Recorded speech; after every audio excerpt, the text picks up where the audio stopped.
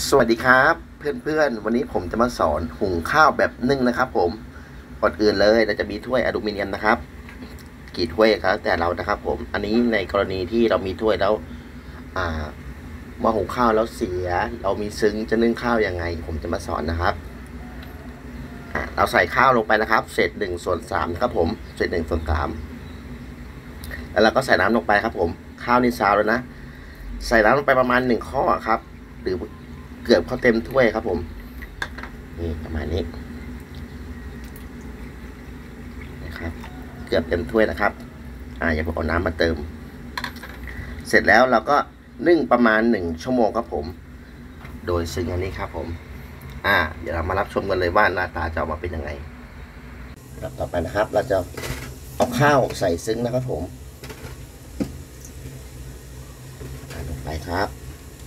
นึ่งประมาณหนึ่งชั่วโมงนะหนึ่งชั่วโมง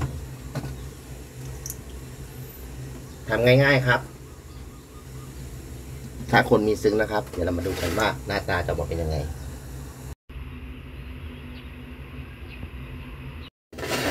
เดี๋ยวเรามาดูข้าวนนะครับ ว่าเป็นยังไง โอ้โห ฟูฟอดนะครับผม ดูชั้นล่างมั่ง อือหือ เป็นไงครับ ฟูเลย อ่าทีนี้เดี๋ยวมาเคาะใส่ชามกันว่าจะเป็นยังไงครับ อ่าเดี๋ยวเรามาดูข้าวกันครับว่า จะสุกทั่วถึงไหมครับ อ่า นี่ครับโป๊กเลยครับผมขยับออกเคาะๆหน่อยนะ อ่า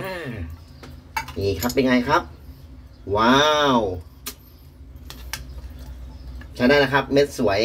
เราก็ทานได้เลย จะเป็นข้าวหอมมะลินะครับ เนี่ย เป็นไงครับ โอเคครับ ผมขอจบการนึ่งข้าว ให้ชมเพียงเท่านี้ครับผม สวัสดีครับ